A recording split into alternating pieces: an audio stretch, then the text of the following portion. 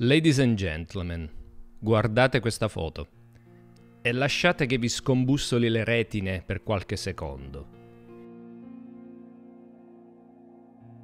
Immagino ci sia un po' di scetticismo nel vostro sguardo. Ebbene sì, signori, si tratta effettivamente di una foto e non di una raffigurazione pittorica. La sua folle perfezione geometrica, unita al rifrangersi della luce attraverso un disco di frammenti di ghiaccio largo quasi 300.000 km. Crea un risultato visivo troppo lontano da qualunque riferimento noto alla nostra limitata esperienza sensoriale. L'ha scattata la sonda Cassini nel 2013, a circa 1 miliardo e 400 milioni di chilometri dalla Terra, nove anni dopo aver finalmente raggiunto Saturno ed essersi inserita in orbita intorno ad esso.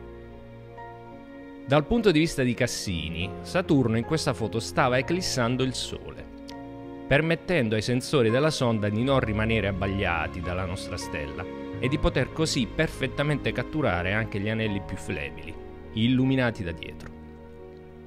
È un'immagine molto potente ed importante, sia per il suo significante, e qui sarà anche questione di gusti, ma faccio fatica a farmi venire in mente qualcosa di più bello, mai catturato da una macchina fotografica, che per il significato. È il trionfo dell'ingegno umano, della nostra curiosità. Rappresenta un altissimo picco di celebrazione di ciò che siamo in grado di ottenere quando mettiamo da parte le nostre differenze e investiamo grandi risorse in un progetto che ha come unico e solo scopo quello di accrescere la nostra conoscenza, senza alcun secondo fine economico o politico. E come se la maestosa presenza del gigante gassoso non bastasse, in questa foto si nasconde un dettaglio che ne accresce ulteriormente il suo valore simbolico. Se ingrandiamo questo angolo periferico tra gli anelli denominati G ed E, notiamo un puntolino di luce, decisamente poco degno di nota, in apparenza. Ebbene, quelli siamo noi, la Terra. Piccoli, lontani, tutti compressi e stipati in una mezza dozzina di pixel ladri, benefattori e monaci tibetani, uomini, donne e bambini, balene, elefanti e calabroni. Siamo tutti lì, circondati da un mortale nulla per svariati milioni di miglia in ogni direzione. Così piccoli e apparentemente insignificanti nell'economia del cosmo, eppure inequivocabilmente gli unici in grado di portare a casa un autoritratto del genere. Una foto contenente questo stesso spirito l'avevamo già realizzata nel febbraio del 90 utilizzando la sonda Voyager 1, distante in quel momento 6 miliardi di chilometri dalla Terra, grazie a un'idea dell'astrofisico Carl Sagan. Uno scatto diventato molto famoso, denominato Pale Blue Dot. Il pallido puntino blu sarebbe appunto la Terra, un puntino quasi invisibile nascosto nel ritratto di famiglia di tutto il Sistema Solare. Credo che la versione scattata da Cassini ne possa raccogliere il testimone e diventare la Pale Blue Dot 2.0, anche se immortalata da una distanza un po' meno vertiginosa.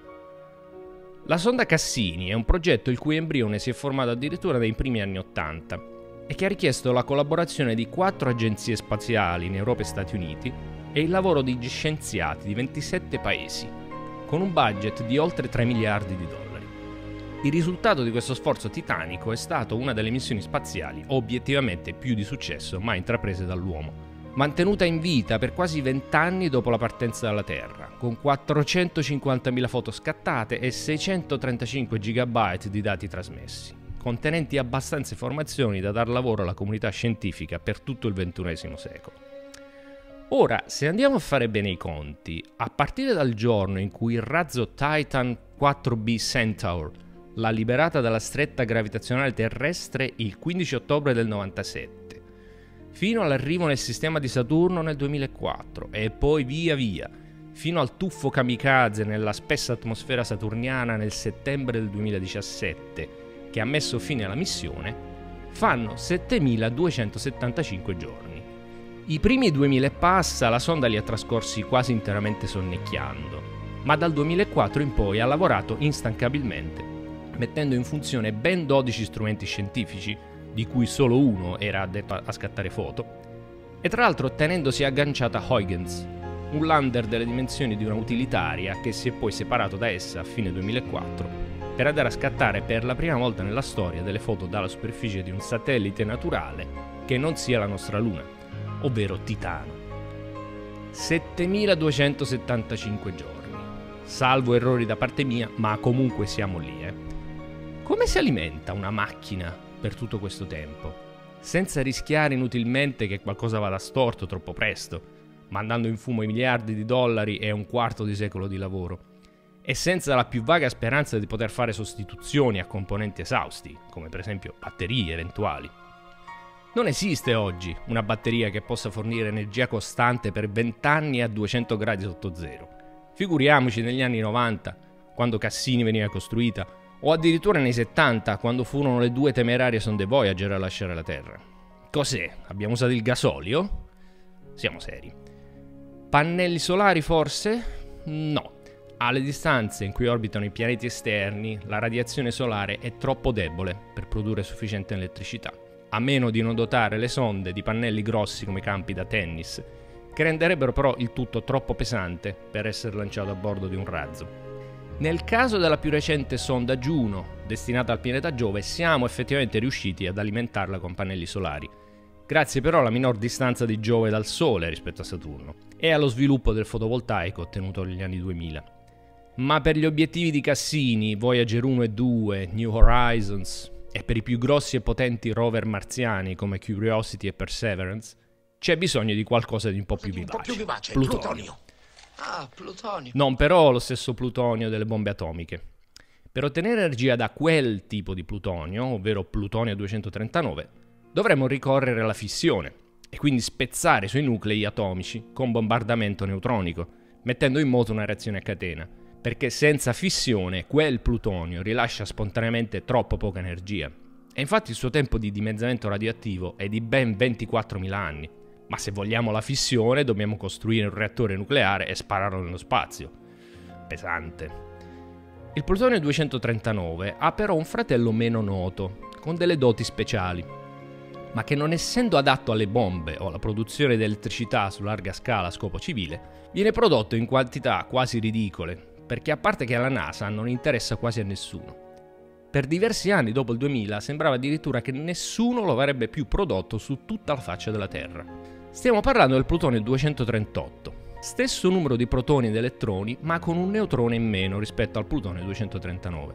Quel neutrone in meno, per ragioni che non spiegherò in questo video, porta il suo tempo di dimezzamento radioattivo da 24.000 a soli 87 anni e fa sì che semplicemente per il fatto di esistere esso liberi una grossa quantità di calore verso l'esterno, senza che ci sia bisogno di stuzzicarlo in alcun modo né di costruire ingombranti reattori. Il decadimento radioattivo è infatti un fenomeno totalmente intrinseco di alcuni elementi chimici, a differenza della fissione nucleare che deve essere indotta, con rapporto inversamente proporzionale tra il tempo di decadimento ed energia rilasciata.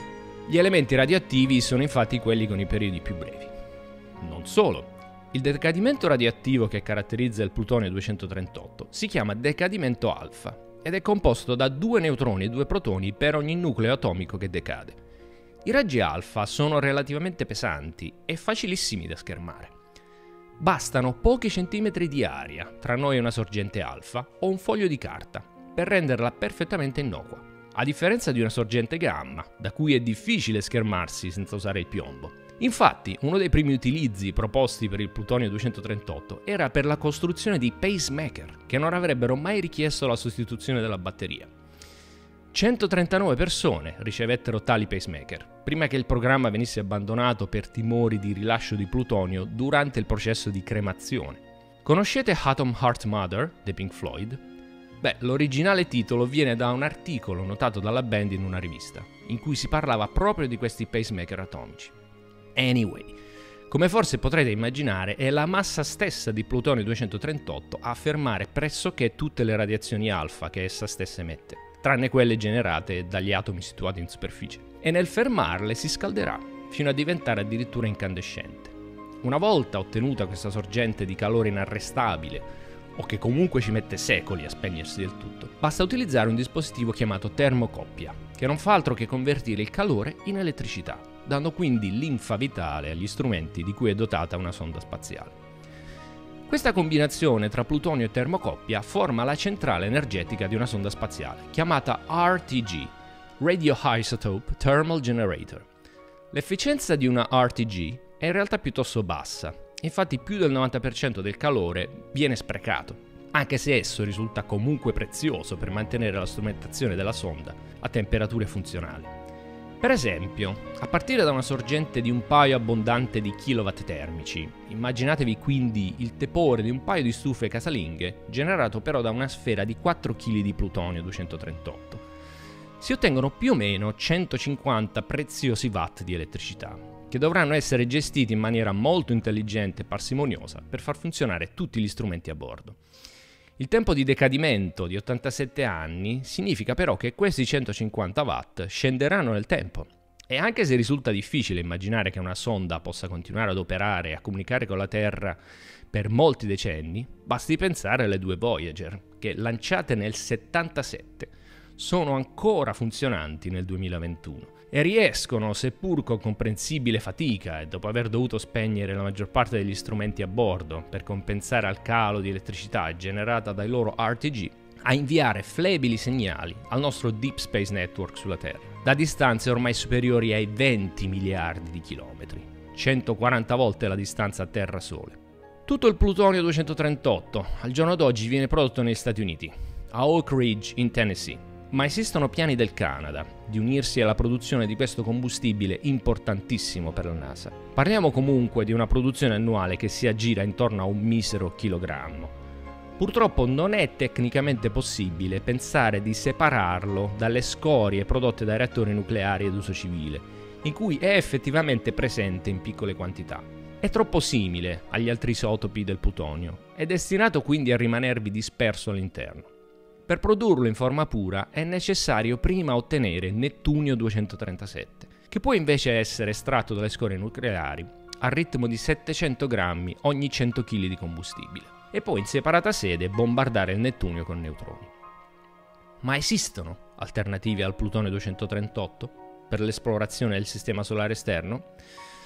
Va detto che nessun altro degli isotopi radioattivi inizialmente considerati per la produzione di RTG come polonio 210, stronzio 90 e americio 241, alla giusta combinazione di quantità di energia liberata, lunga durata necessaria per missioni multidecennali e facilità di schermatura dalle radiazioni, che possono creare grossi problemi alla strumentazione elettronica quando non si tratta di raggi alfa. Il plutonio 238 sembra essere una vera manna piovuta dal cielo, con tutti i parametri impostati al punto giusto. Per cui speriamo si riesca a mantenerne una limitata ma comunque stabile produzione. E alternative non nucleari? Allo stato attuale della tecnologia è impensabile non utilizzare radioisotopi lontano dal Sole. Questo perché la densità energetica di una reazione chimica è milioni di volte inferiore rispetto a quella che si può sprigionare con una reazione nucleare. Vorrei riportare la vostra attenzione su ciò che ho descritto prima. Immaginatevi una sferetta di plutonio di pochi centimetri di diametro, situata su una superficie che non prenda fuoco. Sprigionerebbe il calore di una o anzi due stufe domestiche per poco meno di un secolo. E dopo quattro secoli sarebbe ancora lì imperterrita ad irradiare un discreto tepore, senza parti in movimento né alcun tipo di manutenzione necessaria. Lo so, che si fa fatica a comprendere come ciò sia possibile, perché per ovvie ragioni la stragrande maggioranza di noi non ha alcuna esperienza di prima mano con materiali altamente radioattivi. Il nucleare rimane un qualcosa di misterioso e mediamente spaventoso, dato che lo sentiamo nominare quasi solo in film horror o serie tv sugli zombie. E infatti, ogni volta che la NASA lancia un razzo con un RTG insediato nella sua ogiva, ci sono proteste da parte degli ambientalisti che preferirebbero vivere a testa in giù dentro la ciminiera di una centrale a carbone piuttosto che avere qualcosa di nucleare nel loro stesso continente o nel loro stesso sistema solare. Nonostante l'uso che facciamo di questo prezioso combustibile sia estremamente nobile, pacifico e pianti semi per frutti che magari raccoglieremo tra decenni per vie totalmente laterali e che nel presente non possiamo neanche provare a immaginare. Lo stesso Glenn Seaborg, scopritore del plutonio, mai nei suoi più vanagloriosi sogni avrebbe potuto immaginare che il suo lavoro in fisica nucleare ci avrebbe portato 73 anni dopo la sua scoperta questo meraviglioso selfie di tutti noi terrestri al cospetto del Signore degli Anelli.